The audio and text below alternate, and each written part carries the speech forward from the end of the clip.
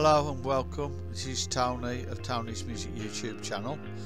I'm going to do a tutorial on a logo and show you what the problem uh, one of my members had with it and how to resolve that problem. Right. So first of all, we're on Affinity Designer and I'm going to do new document in landscape 190 by 108 CP and make sure it's transparent transparent background selected and then create that. Then I'm going to go over to my pictures or image finder and then look for the image. It's down here. That's the actual logo. That's the image that we want to sort out. As you can see it has a white background on it. So if you wanted to try and put a border on it so that it's on the actual lettering you can't because what will happen is when you put your colour on so put a light blue on then we put a stroke on it let's that and then it'll go around the actual rectangular shape itself rather than the actual lettering. So to resolve that first of all what we need to do is go to a different app uh, a background removal app. I've got Affinity Photo which will do it, but I can't do it straight from here. What I will have to do is just come out of Affinity Designer, so just now just turn that off, get rid of that.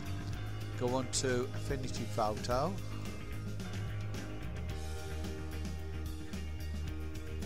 On this, Affinity Photo will do the job for me and then I can connect to Affinity Designer after from Affinity Photo. Right. As we close that off, open the actual image in Affinity Photo. And then once we've got in here, click on the actual thing we want. And then we need to go to the erase tools you got the erase brush tool, background erase brush tool and flood erase tool.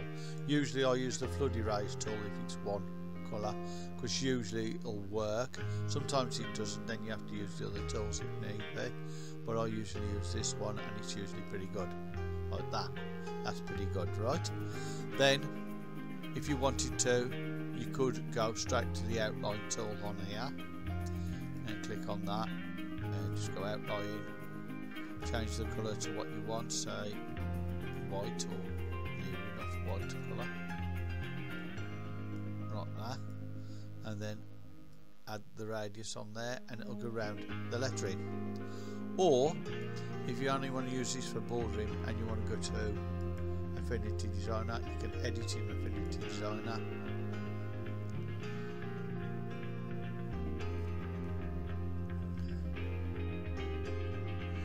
wait for it to load up and then it's loaded on there. And then all you need to do is go to the effects outline then add it there and it's the same thing. Right? Either way once you put your border on you want to save it you can save it as different files by going export. Hold on one minute let's just uh, make sure I've selected all first. Always select all before you it. Make sure you've got the move tool on. Select all, then file, export. You can either export it as a PNG, a GIF or PSD and for each of these and an SVG and each of these will have transparency as long as when you do that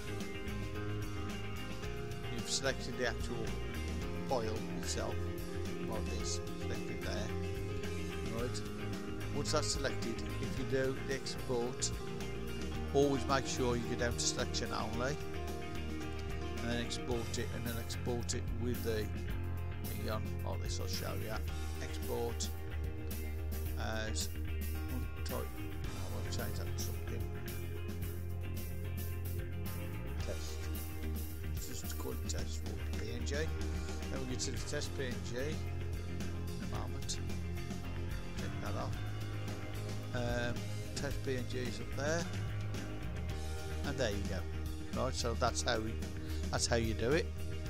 You can adjust it by doing several things as well. So say if you don't like the bit of the border being off there what you can do is also go to new and standard standard preset for doodly there. And oh actually I've done that wrong. It's alright. Let's just take that off. Let's start again with that. New. Transparent. Standard preset for doodly orientation there. Okay. Right so now what we do is we get the this one. Edit. Cut. And then go on to that one.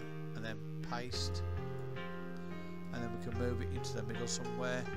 And you can adjust even more if you want to.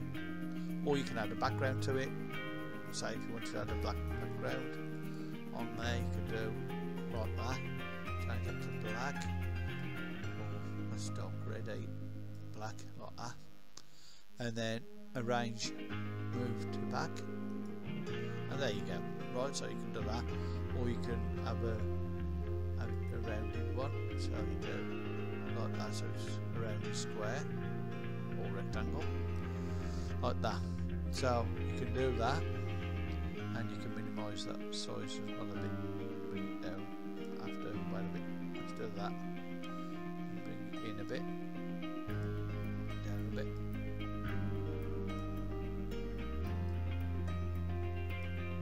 So it will show the actual order better with a different dark colour yeah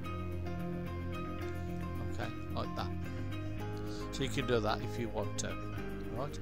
But that is how you can resolve the issue with the putting a border on and I hope it's useful to all of you. And if it is please like and subscribe to Tony's Music and have a great day. Thank you